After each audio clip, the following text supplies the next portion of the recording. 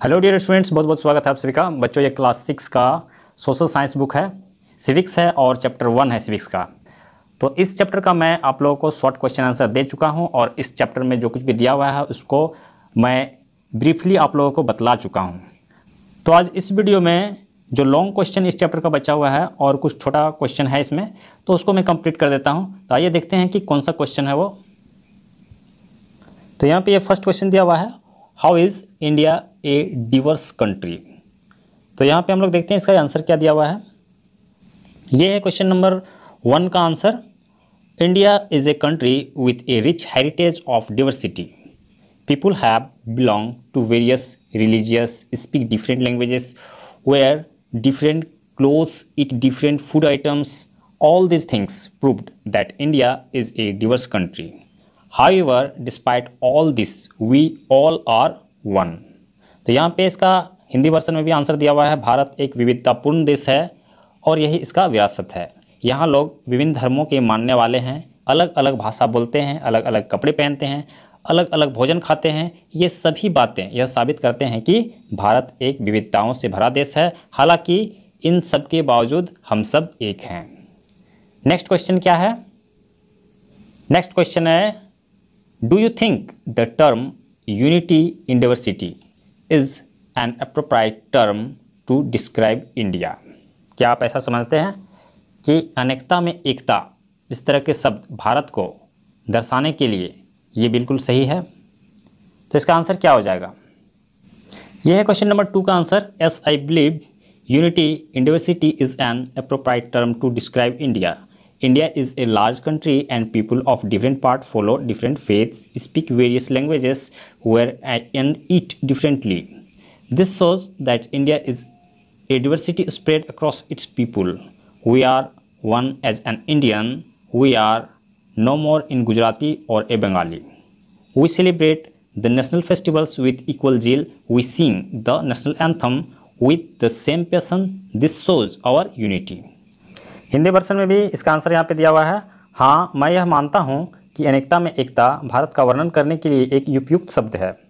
भारत एक बड़ा देश है और अलग अलग हिस्सों के लोग अलग अलग धर्मों को मानते हैं, विभिन्न भाषाएँ बोलते हैं अलग अलग वस्त्र पहनते हैं और अलग अलग भोजन खाते हैं। इससे पता चलता है कि भारत अपने लोगों में विविधता फैलाए हुए है। हम सब भारतीय के रूप में एक हैं, हम गुजराती या बंगाली नहीं हैं।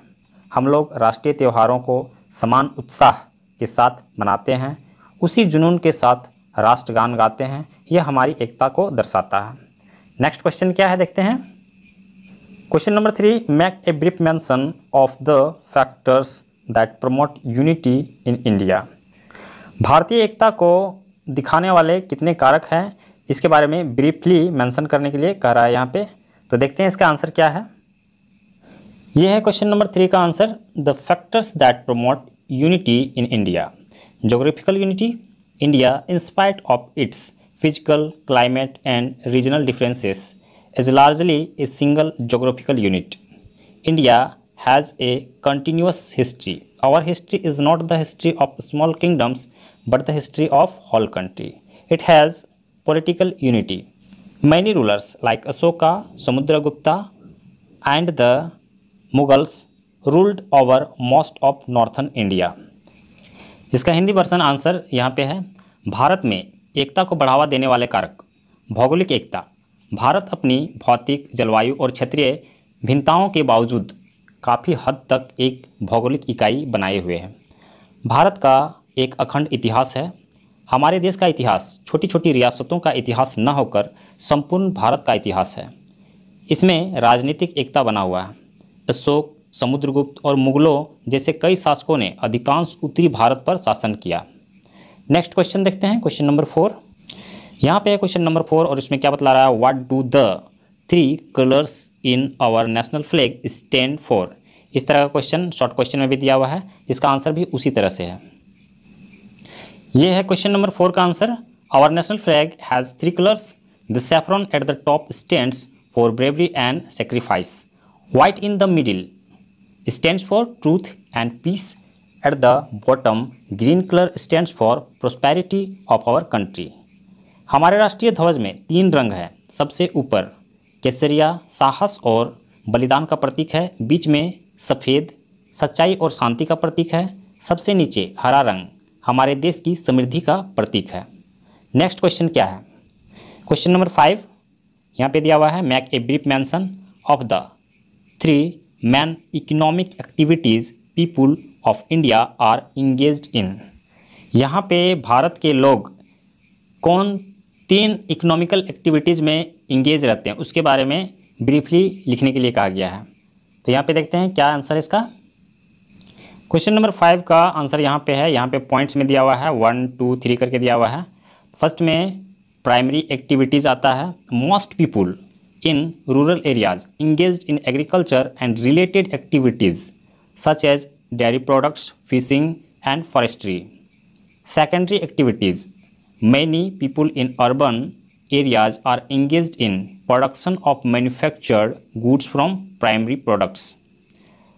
Tertiary activities Some people engaged in tertiary activities do not produce any tangible goods They provide transport, communication और बैंकिंग फैसिलिटीज़, ई यहाँ पे है इसका हिंदी वर्सन आंसर, प्राथमिक गतिविधियाँ। ग्रामीण क्षेत्रों में अधिकांश लोग कृषि और इससे संबंधित गतिविधियों, जैसे डेयरी उत्पाद, मछली पकड़ना और वानिकी में लगे हुए हैं। माध्यमिक गतिविधियाँ। शहरी क्षेत्रों में बहुत से लोग प्राथमिक उत्पादों से निर्मित वस्तुओं के उत्पादन में लगे हुए हैं। तृतीयक गतिविधियाँ। तृतीयक गतिविधियों में लगे कुछ लोग किसी भी मूर्त वस्तु का उत्पादन नहीं करते हैं, वे परिवहन, संचार या बैंकिंग सुविधाएँ आदि प्रदान करते हैं। और इसके आगे शॉर्ट क्वेश्चन है, भरने के लिए यहाँ पे दिया हुआ है। यहाँ पे सेवन नंबर में हु एम आई मैं कौन हूँ? तो यहाँ पे इसको भरने के बाद और क्वेश्चन ने दिया हुआ है।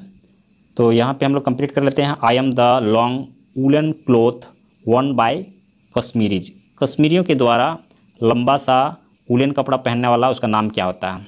तो उसको फिरंस बोलते हैं। फिरंस आपको मैं स्क्रीन पे इसका आंसर दे दे रहा हूँ।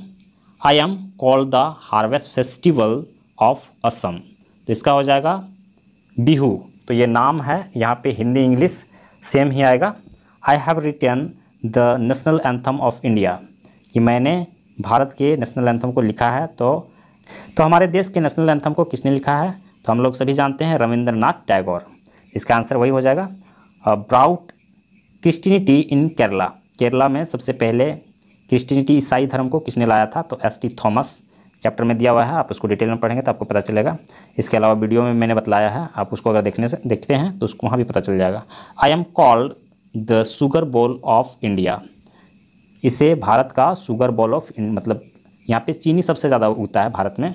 तो ये है उत्तर प्रदेश। उत्तर प्रदेश में सबसे ज़्यादा चीनी उगता है। इसका आंसर यही हो जाएगा। तो यहाँ पे यह चैप्टर पूरी तरह समाप्त हो गया है। इसी तरह का और वीडियो पाने के लिए हमारे चैनल से जुड़े रहिए। हमारे चैनल को सब्सक्राइब करके रखिए। और इसके नेक्स्ट चैप्टर को पढ़ने के लिए हम लोग नेक्स्ट वीडियो में चलेंगे।